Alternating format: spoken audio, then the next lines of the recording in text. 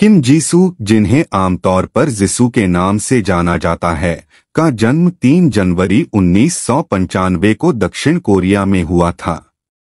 उन्होंने एक गायिका और अभिनेत्री दोनों के रूप में उत्कृष्ट प्रदर्शन करते हुए एक बहुमुखी कलाकार के रूप में मनोरंजन उद्योग में एक महत्वपूर्ण छाप छोड़ी है। जिसु अत्यधिक प्रशंसित दक्षिण कोरियाई लड़की समूह ब्लैक पिंक के सदस्य के रूप में प्रमुखता से उभरी, जिसका गठन अगस्त 2016 में वाईजी एंटरटेनमेंट द्वारा किया गया था। अपनी संगीत गतिविधियों के अलावा, जिसू ने अभिनय में भी कदम रखा और छोटे और बड़े दोनों स्क्रीनों पर अपनी प्रतिभा का प्रदर्शन किया। उन्होंने 2015 श्रृंखला द प्रोड्यूसर्स में एक कैमियो भूमिका के साथ अभिनय की शुरुआत की। हालाँकि यह जेटीबीसी श्रृंखला स्नोड्रॉप 2021 से 22 में उनकी भूमिका थी जिसने उन्हें वास्तव में उद्योग में एक अग्रणी महिला के रूप में स्थापित किया। स्नोड्रॉप में उनके उत्कृष्ट प्रदर्शन ने उन्हें 2022 सियोल इंटरनेशनल ड्रामा अवार्ड्स में प्रतिष्ठित सर्वश्रेष्ठ अभिनेत्री का पुरस्कार दिलाया, जो उनकी अभिनय क्षमता और उनकी कला के प्रति समर्पण का प्रमाण है। संगीत की दुनिया में जिस्सू की यात्रा में एक उल्लेखनीय मोड़ आया, जब उन्होंने अपने एकल करियर की शुरुआत की।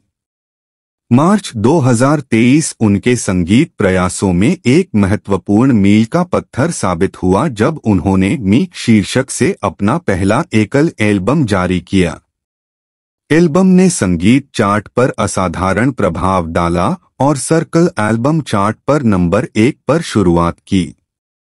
अपनी रिलीज़ के केवल दो दिनों के भीतर मीक ने एक दशमलव शून्य तीन मिलियन प्रतियाँ बेचीं। जिसने दक्षिण कोरिया में एक महिला एकल कलाकार द्वारा अब तक के सबसे अधिक बिकने वाले एल्बम के रूप में एक नया रिकॉर्ड स्थापित किया।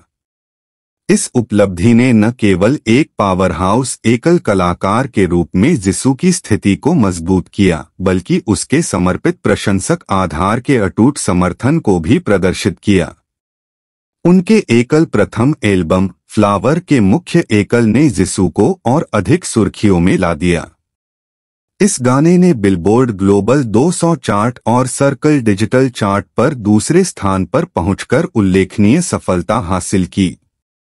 इसके अतिरिक्त फ्लावर ने कैनेडियन हॉट 100 एंजेड सिंगल्स चार्ट और यूके सिंगल्स चार्ट सहित विभिन्न अंतर्राष्ट्रीय चार्ट पर एक कोरियाई महिला एकल कलाकार द्वारा उच्चतम चार्टिंग गीत बनकर इतिहास रच दिया।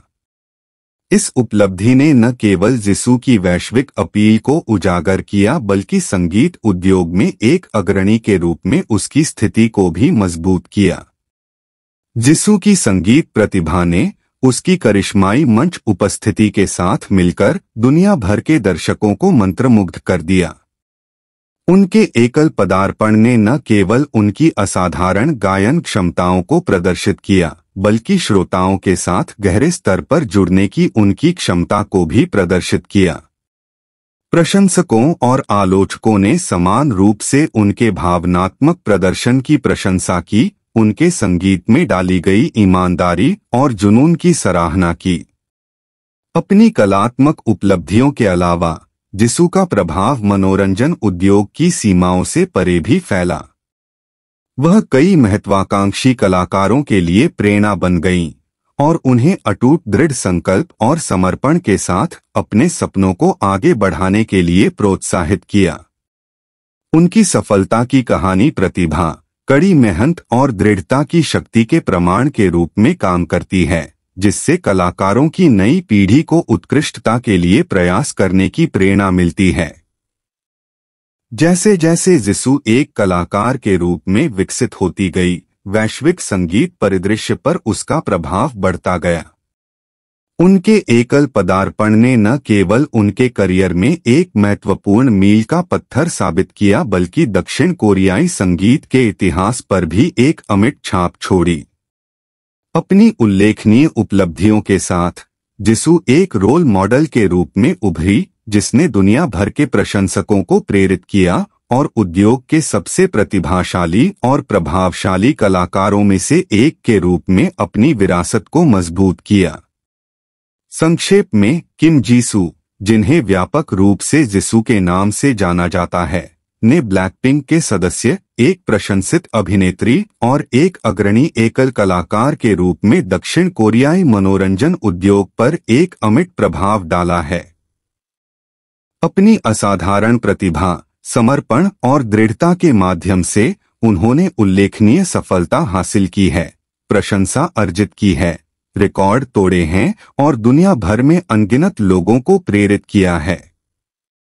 जैसे जैसे वह अपनी यात्रा जारी रखती है, एक बहुमुखी कलाकार और प्रेरणा की किरण के रूप में जिसू की विरासत अद्वितीय बनी हुई है, जो प्रशंसकों के दिलों और संगीत इतिहास के इतिहास पर एक स्थायी छाप छोड़ रही है।